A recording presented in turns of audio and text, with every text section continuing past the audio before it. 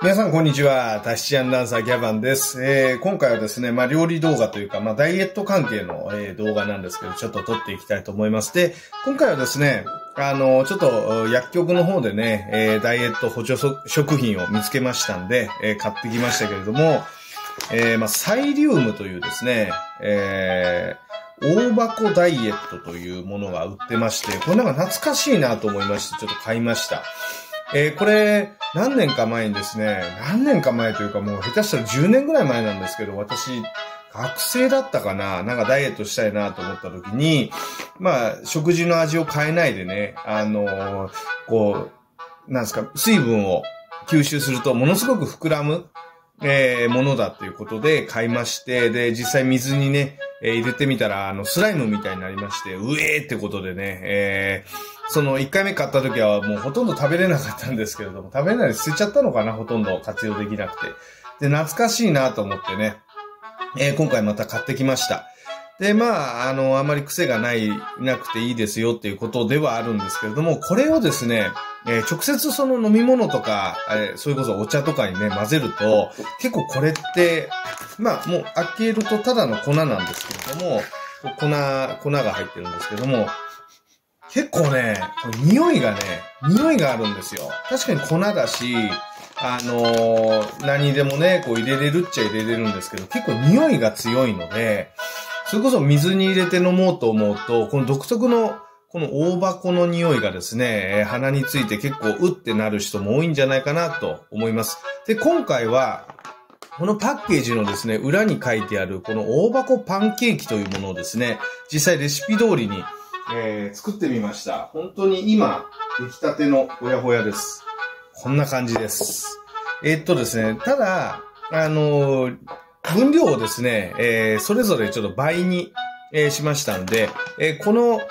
あれで言うと、まあ、卵1個とか、えー砂糖大さじ1とか、えーこの大箱の、えー種皮っていうんですかね、この大箱パウダーを 2g って書いてあったりするんですけど、それぞれ倍にして、え2枚分という形でちょっと作ってあります。ちょっとね、どんな感じなのか、ベーキングパウダーも入れまして、まあ、このレシピ内で言うと、バニラパウ、え？バニラオイル？バニラオイルだけちょっと入れてませんけれども、ね、結構こんな感じで出来上がりました。でいただきます。うん。うん。あ、美味しい。うん。甘さ控えめですね。うん。うん。うん。うん。美味しいです。なるほどね。この大箱パンケーキにすれば、この大箱の、大箱パウダーの、あの、ちょっとこう、独特の匂い。まあ、さらにバニラパウダーが入れば、バニラの香りも相まって、よりね、あのなんですか、美味しく食べられるのかもしれないですけど、僕的にはこれだけでも十分。うん。うん。うん。うん。美味しいです。うん。うん。で、砂糖は、ラカントっていう、体に吸収されない砂糖なのかな？を使ってます、僕の場合は。で、あと、このレシピにも書いてありますけど、えっと、おからパウダーを使ってますんで、まあ、すごくね、あの、低糖質で、えーいい、あのーいい感じに、えーダイエット、ダイエット食というかね、甘いもの食べたくてしょうがないけど、ちょっと体重増えちゃった気になるわっていう時にはすごくいいんじゃないかな。作るのも、えっ、と、まあ、この分量で、えーそれぞれの粉を測ってボウルに入れてかき混ぜて、ダマにならないようにかき混ぜて、あとフライパンにバター引いて、焼いて、っていう感じなんで、所要時間としては10分ぐらい、10分ぐらいでできましたんで、すごくおすすめです。で、この、あの、次回ね、また別の動画撮ろうと思うんですけど、このサイリウムパウダーをですね、お湯で溶いた時に、本当にね、ねっちょねちょのあのスライムみたいな形になるんですけれども、なんかこれ、信玄餅みたいだなと思って、あの、きな粉と黒蜜を買ってくれば、これ美味しい信玄餅風の、あの、で、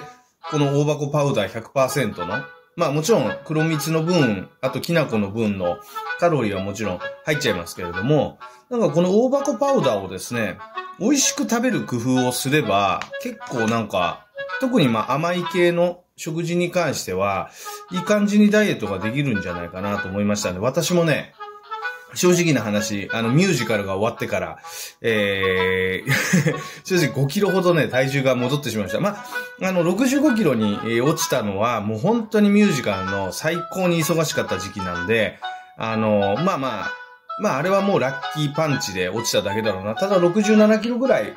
キープできればいいなと思ってたんですけど、今70と71の間をふわふわするって感じで、去年の7月 IWGP フェスに、えー、出るぐらいの時までちょっと体重が戻ってしまいましたんで、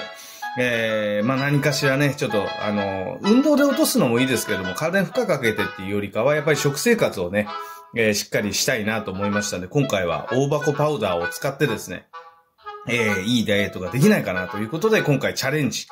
あんまり僕はあのレシピ通りに物を作るっていうのが苦手な人間なんですけれども、えー、今回、えー、レシピ通りに大箱パンケーキ作ってみたところ非常に美味しかったので、えー、皆さんもぜひ、えー、気になったら、あの、薬局等に売ってますんで、えー、ぜひチェックしてみてください。ダッシュアンダーサーギャマでした。ありがとうございました。まるる